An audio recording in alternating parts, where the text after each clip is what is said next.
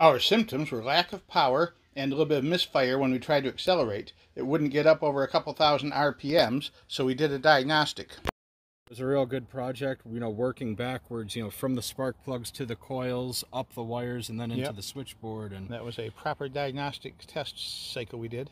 we did it well. Just check the spark plugs, check the wires, the coils, and then the spark unit. The coils and wires were tested by swapping them with known good ones. Same as the old one, just this one has an epoxy uh, insert to it.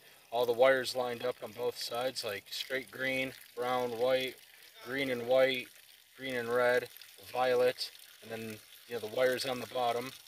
And then the three wires ground wires from earlier just go there. How many mounting screws were there for?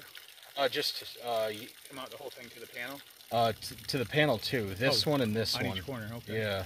So And that was it, huh? The ones across the bottom were just, just it was all super put them easy. back on the way you came off? Yeah. So we're gonna. Fire You don't even think I need to put the coil checker on then? I don't think so. All right.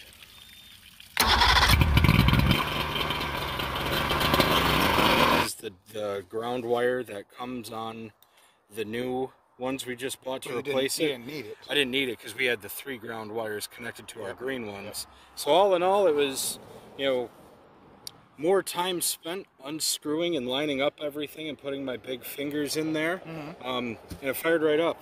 This is this is kind of cool because you can see all the electronic components back in there behind the silicone.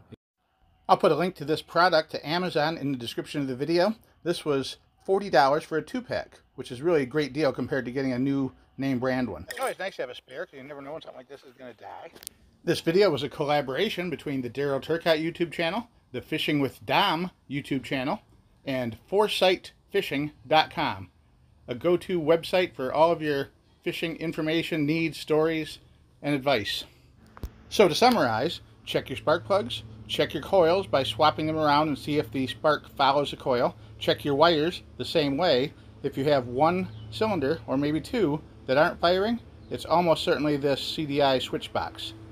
And it's easy to change. You can do it yourself, save a bunch of money, and get back on the water a lot faster than you would by taking it to a repair shop. Thanks for watching. Have a great day, and bye for now.